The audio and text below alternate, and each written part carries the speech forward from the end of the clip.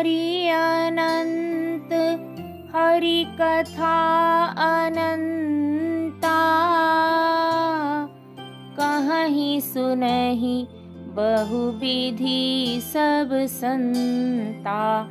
राम, सिया राम सिया राम, जय जय राम। रामचंद्र के चरित सुहाए कल्प कोटि लगी, जाही न गाए। राम, सिया राम सिया राम, जय जय राम। गोस्वामी तुलसीदास जी कहते हैं, श्री हरि अनंत हैं, उनका कोई पार नहीं पा सकता और उनकी कथा भी अनंत है। सब संत लोग उसे बहुत प्रकार से कहते सुनते हैं।